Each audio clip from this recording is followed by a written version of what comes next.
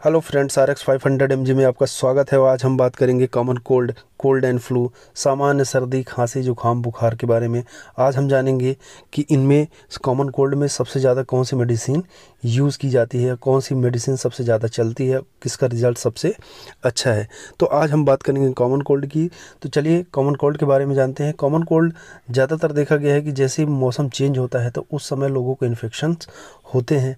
तो उस कंडीशन में ज़्यादातर देखा गया है कि लोगों के को स्लाइटली फीवर रहता है नाक से पानी बहता है या नेज़ल कंजेशन मतलब नाक बंद हो जाती है, आँखों से पानी भी निकलता है स्लाइटली खांसी भी आती है।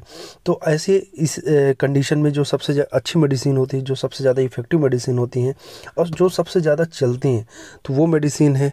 पहली मेडिसिन है सोमो कोल्ड सोमो कोल्ड का यूज़ बहुत ज़्यादा किया जाता है, और सोमो कोल्ड बहुत ज़्यादा मार्केट में चलती भी है। बहुत ही अच्छी मेडिसिन है, बहुत ही अच्छा रिज़ल्ट है, आप इसको ले सकते हैं। इसके बाद है अगली medicine Solvin Cold Solvin Cold भी बहुत ज़्यादा चलती है। इस मेडिसिन का भी यूज़ कॉमन कोल्ड में कोल्ड एंड फ्लू में किया जाता है। बहुत ही अच्छी मेडिसिन है और आप सॉल्विन कोल्ड भी ले सकते हैं।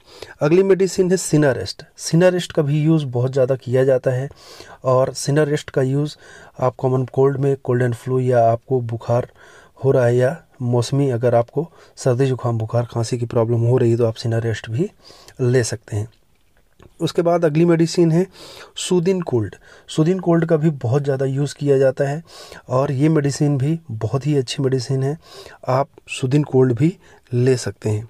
अगली मेडिसिन है chest and cold chest and cold का भी बहुत ज़्यादा यूज़ मार्केट में होता है। बहुत ही अच्छी मेडिसिन है और हर जगह आपको अवेलेबल भी हो जाएगी।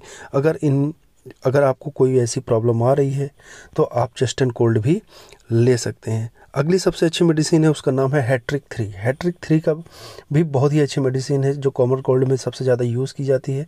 अगर आपको हैट्रिक थ्री अगर आपको प्रॉब्लम है तो आप हैट्रिक थ्री भी ले सकते हैं।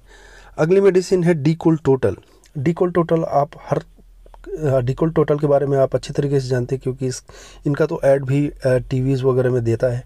तो आप डिकोल टोटल भी ले सकते हैं, ये भी बहुत ही अच्छी मेडिसिन है कॉमन कोल्ड के लिए तो आप इसका भी यूज़ कर सकते हैं। इसके बाद है अगली medicine Crocin cold and flu Crocin cold and flu को भी आप अच्छे तरीके से जानते होंगे, क्योंकि इसका भी यूज़ बहुत ज़्यादा होता है। टीवीज़ में, टीवी वगैरह में इसका भी ऐड बहुत ज़्यादा आता है। तो आप इसको भी ले सकते हैं। ये भी बहुत ही अच्छी मेडिसिन है कोल्ड एंड फ्लू के लिए।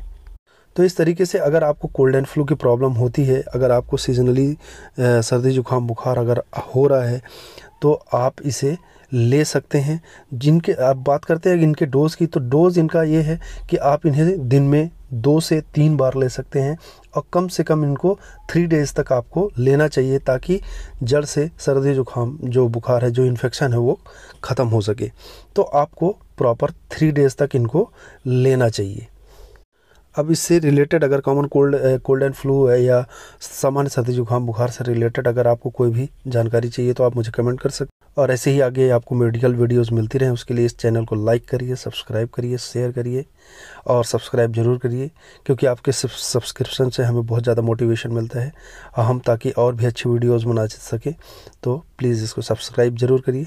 Thank you